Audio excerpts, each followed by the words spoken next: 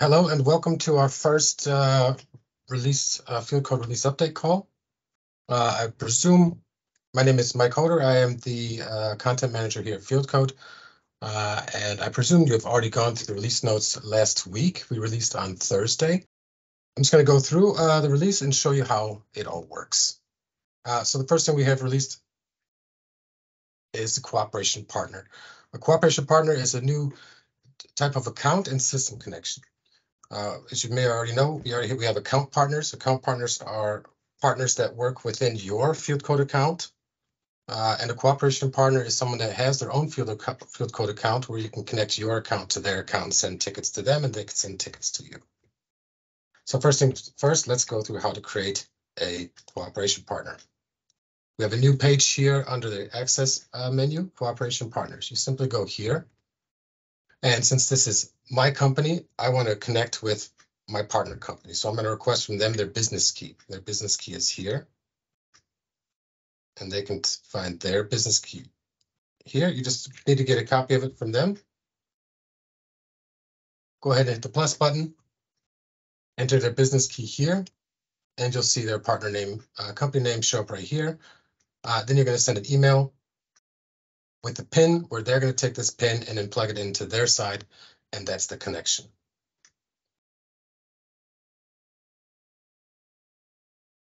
So now I received the pin. I'm going to copy it. You see here already, uh, we have waiting for confirmation from their side. So what happens is they need to go to their side and then back their account here. And they received an email with a PIN code in it. They're going to copy this PIN code in there and save it. And as you see, it warns you because you need to select a project. Now, the partner company, I'm going to send tickets from my company or my Fieldcode account to their Fieldcode account. So on their side, they need to choose which project they want my tickets to go into. So in this case, I have created my company projects. So all the projects coming from my company are going to go into this project on their side. So once you have the project selected and the pin in, you hit the save button, and now I have a confirmed um, connection with my company as a subcontractor. And the same is on their side. Now it's confirmed with my partner company. As you see, I have two connections with my other partner and my partner company. I'm the contractor. I'm sending them tickets. Uh, this works both ways. If I want, if my partner wants to send me tickets because they want to work with me, they would do the same thing. Uh, they would just request my business key and go through the same process. On their side, they add me. I receive an email. I plug in the pin on my side, and now we have a bi-directional connection where I can send them tickets and they can send me tickets. The advantage of this is I can send tickets to their Fieldcode account uh, and they can work on it with their dispatchers, their engineers on their own time at their own time. And as they're working on their ticket, it'll update in my side. Now, let's send them a ticket. Another thing is um, tickets that have parts or PUDOs will also be sent over. So if I have a part as this uh, ticket here has a part to it, it is also with a PUDO. What's going to happen is it's going to send the ticket over to my partner's account. And if they don't have this PUDO already saved in their account, it's going to create a PUDO in their account and send us part information. So let's go ahead and send this ticket over to my partner. There are three ways, as you may already know, assign partner here directly in ticket details. And we also have the context menu where we assign partner directly or schedule ticket. Schedule ticket, as we have this recommendation button here. You hit the recommend button, and I have my account and I have my partner's account. We also have a new um, icon for a cooperation partner so you can quickly notice which partner it is. The orange one, as you know, is account partner. The new icon is for cooperation partners.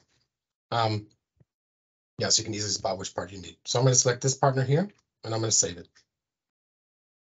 This ticket will disappear from the dispatching ticket pool and move directly into the outsourced tickets where it's going to wait there for um, for action from my partner side.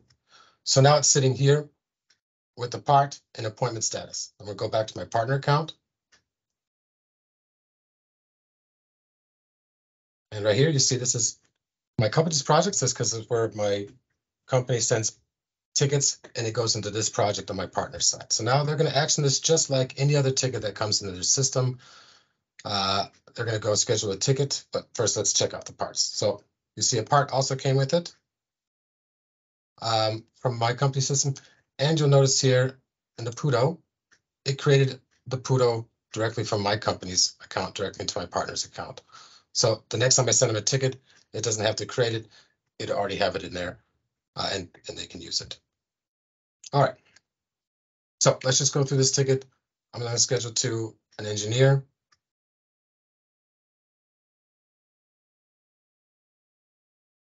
Okay, what's going on here? Okay.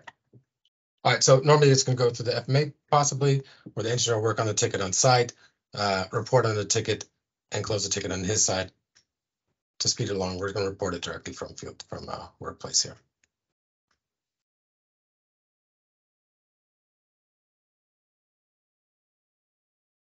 And save.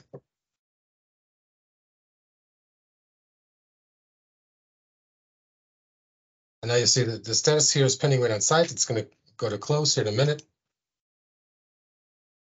Okay, it's really quick. So this now is sitting and closed. On their side, the ticket is done. On our side, the ticket was closed, but since we have a validation step within our workflow, it has moved to the ticket pool. Um, every ticket that comes in that has a validation step on the on the company side will automatically have a ticket info added where it's just letting you know that the partner was removed. And it's a good way for your dispatchers to catch the tickets to make sure everything's done.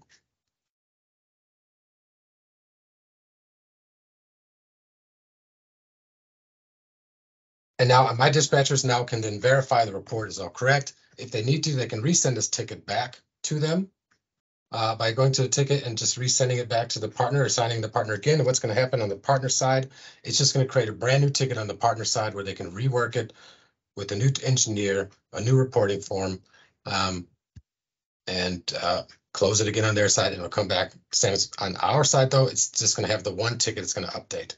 If we send it multiple times, it's going to have multiple interventions. Uh, if we send it five times, it's going to have five interventions in here on the original ticket. On the partner side, it's going to have five separate tickets on the partner side, what they work on. Once they close it on our side, the original ticket, we close it just like a normal ticket, and it's done. And that's cooperation partner. If you have any questions, please do not hesitate to go to the Q&A section and ask your questions. All right. Excuse me. All right, the next one is SMPT settings at a project level. As you know, before we could add SMTP server for the uh, for the whole account under the accounts menu. Um, and this was the only place you could add your own SMPT settings uh, for the account, but this was covering the whole account. We need to have, or it's possible now to do it per project. So now at a project level, each project can have its own SMT server sending out emails through its own servers um, for whatever niche you need it to. So let me just show you here. Where am I at?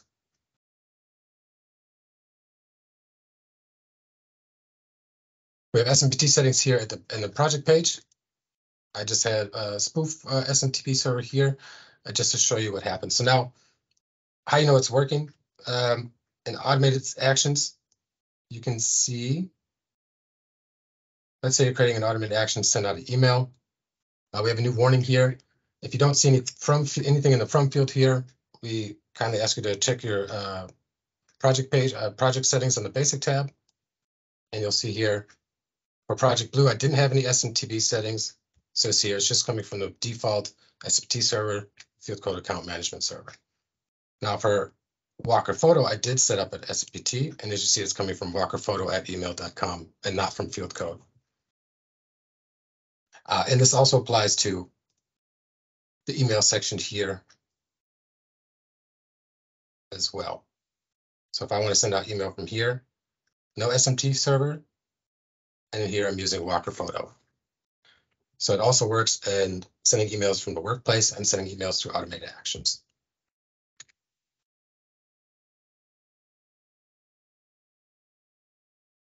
On to the next one. We have revamped the ticket scoring. What I mean by revamped, we have adjusted the point scaling. You're now able to name uh, a ticket scoring and you can add more than one filter. Uh, the old scoring was one through 10, but that was leading to very limited ticket scoring. So we increased the number to 100, which allows our users to have much greater ticket scores, more finite ticket scoring. Um, makes it all around better. You could add more than one filter because ticket scores need more than one filter now. Um, and the big change is that before, if I had multiple ticket scores and the system was checking for ticket scores and it found three ticket scores matched, um, before we would take the average of that score minus before it was one through 10. So if it was five, five, five, the average would be around seven or so. Um, now, if it finds the ticket score at 555, in this case 50, 50, 50, it's going to take 150. It's going to take the sum of the score uh, and use that for calculation. And we say that here as well. Uh, the maximum total score is 999 points. So if you have enough ticket score to where it adds up to 999, that's the maximum highest ticket score you can have for matching ticket scores. Play with that. Um, if you do, if you do um, change your existing scores, you, you can feel free to do that. However, we do want to warn you that if you're doing this, um, if you have a lot of scores to change, do this outside of peak hours um, because it will take some time to reprocess tickets because it's going to have to go through the system and check the different scores and make sure it's all still the same or updating whatever. So please do this on off-peak hours if you're changing scores um, at any time. Doesn't matter if it's even months from now. Still always run off-peak hours because it's going to have to recalculate some stuff. All right, moving on.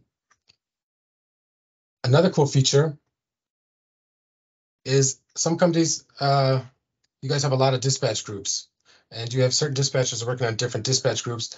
And we have a lot of tickets here in the dispatch tab. You can filter by group. So it's easy to see, but the other tabs didn't have that. For instance, ticket info is a big one. If you have a lot of ticket infos here and you have a certain group you're working for, you're not able to uh, weren't able to search by group. We have added dispatch group here, so you can just see your dispatch group tickets as you need to in here. Uh, as well as the expert tab, we've now added the dispatch group in here, so you can easily switch by group. Okay. Another one is to do with absences. So if you have some users have um, absences. And before you could create an absence, but you couldn't uh,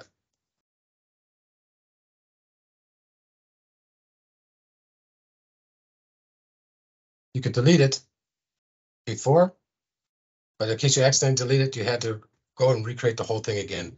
Now we can just reactivate this absence and then you can edit it and change it, whatever you need to do. If you accidentally deleted it, same with on-call duties. Uh, if you create on-call duty and, and cancel it, you can reactivate it and adjust the, the and modify the uh, on-call duty. All right. Um, another fun one. Last time we introduced uh, optimization configuration, and we got some feedback from y'all. Um, so we have improved the user interface for creating optimization configurations. So we have the optimization tab here. Once you, as soon as you click on the custom profile, you'll notice right away that the header bar is different. It now has automatically the active switch, and it's a switch now rather than a button. Um, and it has a delete uh, profile button right here. So we're just going to create a couple here.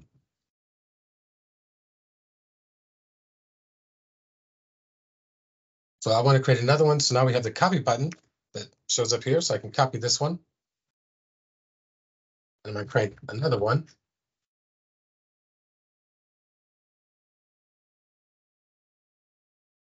And I'm happy with that. And you may notice that there's the buttons missing. We had before three buttons, create and activate, create and cancel. Uh, these buttons were confusing a lot of people and it wasn't very helpful. So now, once you're ready, you got everything done, you got your active switch. Also, you can now deactivate all of them before that was not an option. You had to have one active or delete them all. Uh, now you can have none active or as before, one active. All right, so we're gonna set the one active. And now you just hit the save button when you want to save your optimization profile. And another thing, when you go back to it, now it is ordered by oldest at the top. Before it was it was vice versa. So now the oldest, the newest, the newest one that was created is going to be at the top. The oldest one is sorry, the oldest one is going to be at the bottom. The newest will be at the top. All right. Uh, another one is for interfaces. We now have uh, skills available for mapping. So you can talk to your counterpart or to your team, um, and you can start mapping skills for your for your system connections. Uh, you may notice here that the sidebar is also been um, adjusted. So now we have this nice solid green bar.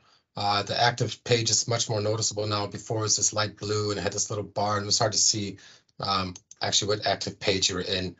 So now this is, and it's also matching with the, the sidebar on this side as well. All right. Another um, fix was the map. There was issues when, when messing around with tickets and so on and so forth, the whole map scale would change. Uh, if a user sets their map scale like this, they want it to remain like that. They don't want to make a change somewhere else, and then the map scale changes. Uh, that should no longer be a problem. The map scale is going to change uh, to be wherever you set it to be. Um, we fixed an issue with the saving a profile in the admin panel. There are some issues with it not saving that that saves now.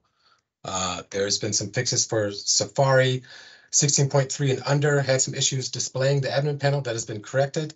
Uh, so all the Safari users that are using 16.3 and below um, should work. The admin panel should work for them. Uh, we fixed an issue where there was some issues where dragging the ticket to the timeline, uh, the ticket would disappear. That's obviously not good. So uh, that's been fixed. Another one is in the automated actions, where if you added a phone number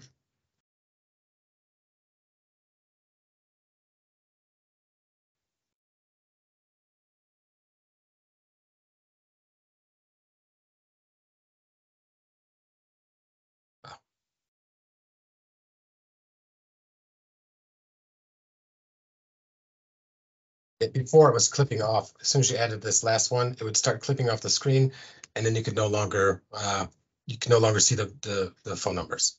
That has been corrected, as you can see. It now goes to the next line, continues.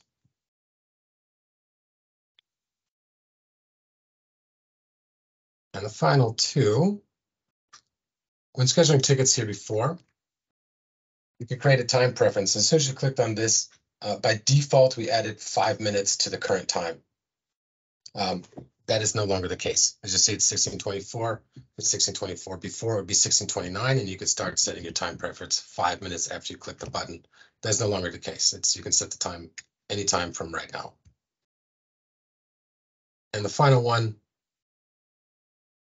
that I will go over is the search button uh, for the publish button has been corrected.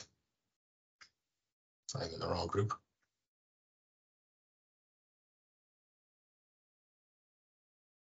So before there's some issues with searching, um, it works as expected now.